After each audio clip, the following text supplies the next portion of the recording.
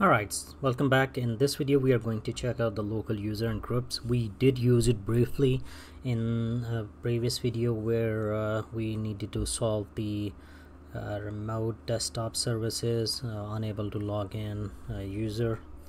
Uh, so the quickest way is basically by typing run in run type lusr mgr dot msc it should open up the local user manager. And the other way around is uh, nope here in the windows go for uh, computer management right there from within the manager.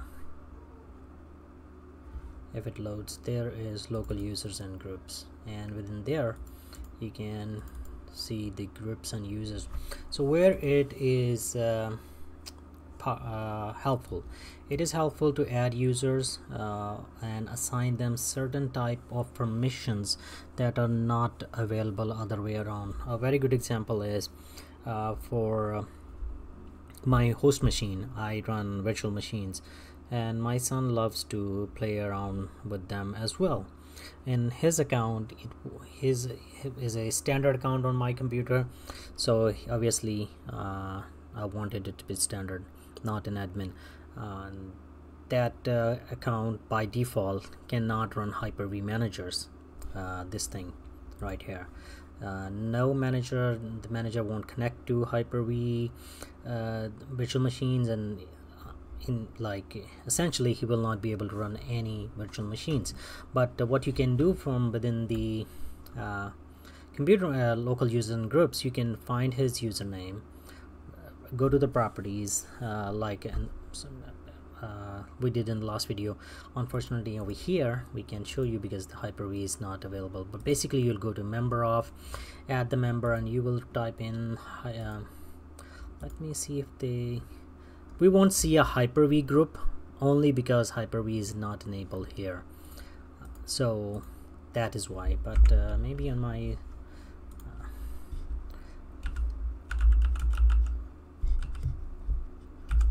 can show you on my host machine. If I go here and I go to for the test and for the test user member of add advanced probably we're gonna see a hyper-v. Uh, right there hyper-v admin. So basically we assign that to this user that you we want uh, them to give access to uh, Hyper-V virtual machines. So that's why it's uh, the uh, local user and group it's extremely powerful. It's uh, it gives you a kind of taste of domain. Uh, the other thing speaking of domain where it comes handy. Uh, all of the by default all of the domain users should be able to log into your account uh, sorry log into the workstation. But if for some reason you want a group of people to be able to access or assign them some local uh, administration or some local access that is not possible through the domain server. Like uh, of, of course they can log in but they may not be able to do a certain task on this in this particular workstation uh, locally. Then you go to groups and from here you can actually get a new group you type in the group name or search it uh, from you will select the location as your domain you will search that group that group will show up you add them and that group will show up here. For example it was IT now they have full control of uh, this machine. Or you can add them to Hyper-V. Oh Hyper-V is there. It's under the groups. Uh, for some reason it was showing up there but uh, good to know yep. So actually let's go check Hyper-V again.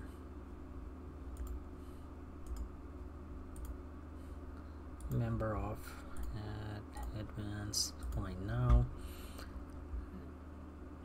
We have a Hyper-V here right there.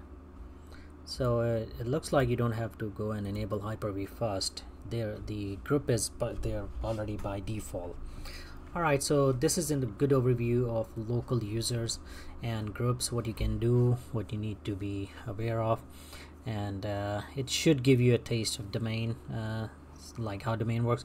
In the domain, if you right click on a user, you get a ton of um, settings of customization you can do over there. But of course, it's just local that uh, called domain uh, group policy, user management, something like that. We'll get to that later on alright so I hope this video has helped you. If it has please rate comment subscribe and share. And uh, we'll see you in the next one